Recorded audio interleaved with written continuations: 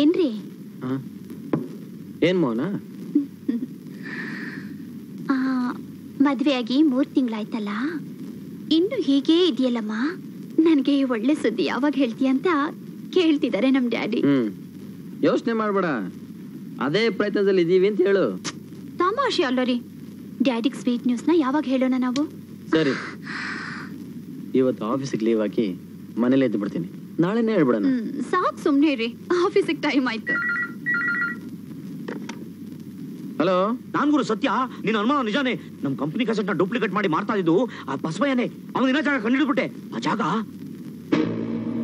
ಸರಿ ನಾನು ಈಗಲೇ ಅವನ ಕೈ ನೋಡ್ಬೇಕು.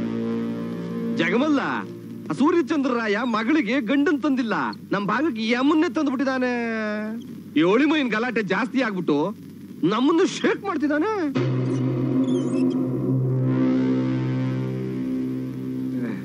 ಒಳಿ ಅಂದ್ರೆ? ಹೌದು. ನನ್ನ ಮಾವನಿಗೆ ಅಳಿಯ ಸ್ನೇಹಿತರಿಗೆ ಗೆಳೆಯ ನಿನ್ನಂತ ಕಂತ್ರಿ ನನ್ನ ಮಕ್ಕಳಿಗೆ ಸೊಂಟ ಮುರಿಯ.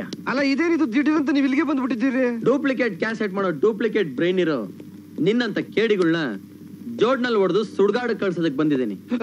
ಭಕ್ತಿ ಗೀತೆಗಳ ಜೊತೆ ರಕ್ತಿ ಗೀತೆಗಳನ್ನ ಬೆರೆಸಿ ಜಾಲಿ ಗೀತೆಗಳ ಜೊತೆ ಪೋಲಿ ಗೀತೆಗಳನ್ನ ಬೆರೆಸಿ ತ್ಯಾಗರಾಜ್ ಪುರಂದರ ಕ್ಯಾಸೆಟ್ಗಳನ್ನ ಕೆಟ್ಟದಾಗಿ ಡೂಪ್ಲಿಕೇಟ್ ಮಾಡಿ. ಮಾರ್ಕೆಟ್ನಲ್ಲಿ ಹಂಚ್ತಿರೋ ನಿನ್ನಂತ ಅಲ್ಕ ನನ್ನ ಮಕ್ಕಳಿಗೆ ಅಲ್ಲಿ ಉದುರ್ಸು ಅಂತ ದೊಡ್ಡವ್ರು ಹೇಳಿದ್ದಾರೆ. ರೈಟ್ ಹಾಗಾಗೋದಕ್ಕೆ ನೀನ್ ಹೊರಗೆ ಹೋದ್ರೆ ತಾನೆ?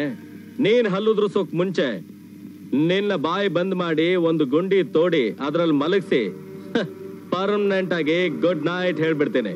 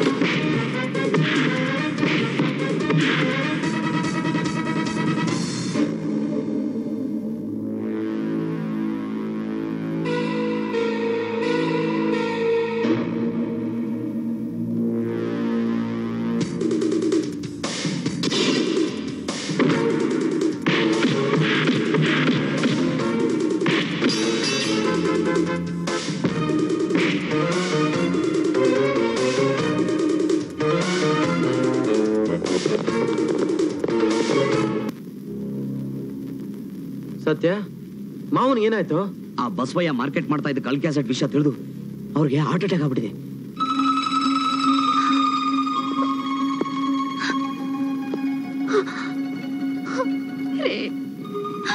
ಸಮಾಧಾನ ಮಾಡ್ಕೊ ಮಾವನ.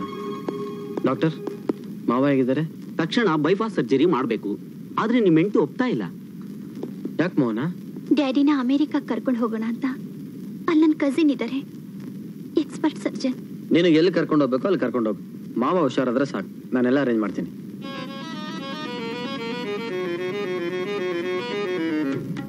ಆಡಿಸಿದಳೆ ಶೋದೆ ಜಗದೋದ್ಧಾರನ.